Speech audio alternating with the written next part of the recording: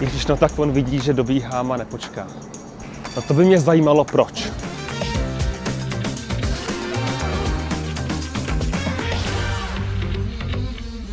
Ahoj, dnes si vysvětlíme, proč někdy řidiči MHD čekají a jindy ne, na koho čekají neradi, zda můžou se zastávky odjet dřív, než stanovuje jízdní řád, kdo to jsou svačináři a objasníme si, jak je to s tím, že řidiči po nehodě mají volno. Těch důvodů, proč řidiči nečekají, je několik. První, že tramvaj už má spoždění. Druhý, že nemá spoždění, ale nabírala by spoždění. Představte si, že by na dobíhače čekala na každé zastávce. Jedná se taky o denní dobu, jestli je třeba špička, tam je nesmysl čekat, jelikož jezdíme třeba na páteřních linkách co 4 minuty a tím pádem by vznikalo spoždění a zdržovali bychom linku za sebou. By se třeba i stalo, že 22 dojede další 22 a pak pojedou za sebou. Jdeme na další důvod. Potom třeba u Motranské trati, kde jezdíme prostě třeba ve špičkách tři linky, ať je to linka 3, 17 nebo 21, jezdíme co dvě minuty, tam je také nesmysl čekat. A kde se taky moc nečeká, jsou frekventované zastávky.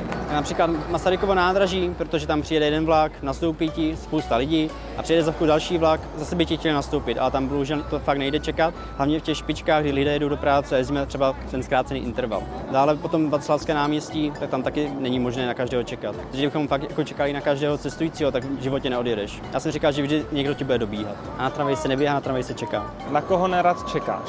Určitě na člověka, který nedá znamení a ne, člověk neví, jestli dobíhá na tebe nebo dobíhá na tramvaji za tebou. To se párkrát stalo, že třeba člověk dobíhal, ale dobíhal tu tramvaj za mnou. Renému se taky stalo, že čekal na dobíhajícího pána, pak se ale ukázalo, že chlapec si šel jenom zaběhat. A já furt čekal, jestli náskočí nebo nenáskočí. Nenaskočil. Nenáskočil, běžel dál. Naposledy mě dobíhala paní na Okrouhlické, nepadaly jí světla na semaforu na přechodu, a tak jsem na ní teda čekal. Díval jsem se, že na auta nejdu, jsem mi ukazovat, teda běží, že na ní počkám. Tam ještě poděkovala uvozovny Koblici. Vidíte, řidiči MHD přece jen někdy čekají a konkrétně o víkendu častěji než ve všední dny. Když je víkend, tak jezdíme vlastně s větší prodlevou, je tam větší prodleva mezi jednotlivými pořadími té linky, třeba 20 minut, takže je logické, že o tom víkendu se více čeká na dobíhající cestující než přes pracovní týden, kdy jezdíme třeba co ty 4 minuty. Čekáš od lidí, že ti poděkují za to, že spočkal? Určitě je to i příjemnější, že člověk si cítí jako líp a čeká to poděkování. No. Jakou formou? Stačí mávnutí aspoň, nebo když jsou tu teda první dveře, tak někteří aspoň teda zakřičí jako, že děkují. A když nepoděkují, naštve tě to? To určitě. a pak tu máme reakci lidí, kteří dobíhají, ale tramvaják zavře dveře a odjede. Tak většinou je to rozhazování rukama. Hergot, no tak, hergot, do prčic. Dále bouchají třeba důchodci berlema od dveře. Ale to se mi stalo jedno na letenském náměstí, no. Byl jsem v šoku, že jsem nevysklil tramvaj, nevysklil naštěstí, že byla rána teda. A nebo nadávají. A nebo nadávají. Jenže někdy si za to lidi můžou sami, že jim tramvaj ujede. Třeba na Kublově stál pán opřený s telefonem, stál opřený jako o zábradlí, koukal do telefonu, já jsem zavíral dveře a pak se samozřejmě rozčiloval, že jsem mu ujel.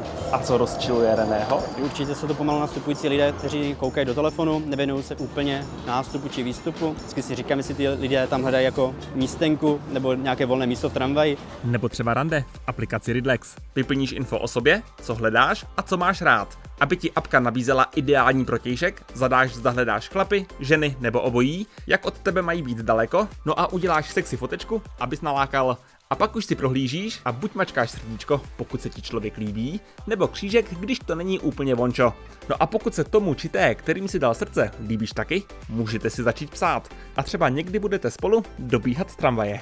Musíme si uvědomit, že nabíráním spoždění zkracujeme tramvajákům pauzu na konečné. I když pro mě zajímavé zjištění, oni v obratištích ve všední dny nemají moc pauzy. Oni je mají přes den v centru. Většina linek má teda střídané přestávky, například linka 6, tam má střídanou přestávku na IP Pavlova, tam ti vystřídá řidič, odjede to na Kubaň a přiveze to vlastně zpátky, během toho ty čerpáš přestávku. Jak je dlouhá třeba? Třeba půl hodiny, tři čtvrtě hodiny, závislosti, jak daleko to je ta konečná. Takže ti lidé, které vidíme postávat, se nazývají svačináři. Tady třeba vidíme, že svačinář se vrátil z tramvají z Barandova na Anděl a sám jde na svačinu do KFC. Mimochodem, z konečných musí tramvaje odjíždět na čas. Sebe menší spoždění, třeba tři čtvrtě minuty, už musí hlásit na dispečing. Teď se dostáváme k tomu, že na zastávkách jsou kontrolní body nebo infobody, které zaznamenávají, v kolik hodin tramvaj projede. A já se ptám, může tramvaj odjet ze zastávky dřív, než jí stanovuje jízdní řád? Z kontrolních bodů určitě ne, za to, za to je teda postih peněžitý po nějakém určitém počtu odjetí, ale většinou teda jako snažíme se dodržovat ty časy tak, jak jsou. Kontrolní bod, to je striktně daný, tam nesmíš odjet dřív. Infobot, My se měl taky správně dodržovat, ale tak někteří řidiči odjíždějí dřív, třeba aby nezdržovali linku jedoucí za ním, třeba Karlovo náměstí, tak aby nezdržoval třeba 14 linku, kde si teda odbočuje doprava, ale on pokračuje rovně, tak někteří řidiči třeba odjedou o ten čas dřív. protože za nima už spěchá ta tramvaj Ano, další. že může být třeba spožděná a on to ví, třeba že je spožděná, protože má být před ním, tak ji v podstatě uhne Uhne. na křižovatce. A teď k tomu volnu. Stala taková příhoda, měl jsem jednu bouračku a slečna mi říká, tak máte aspoň dnes volno. Říkám, nemáme žádný volno, sepíšeme to a jedu dál, pokračuji. Je to bohužel nesmysl, nevím, odkud to vzniklo, ale řidič určitě nemá volno po bouračce. Vše jsme si vysvětlili a vy si pamatujte, na tramvaj se neběhá, na tramvaj se čeká. Ahoj!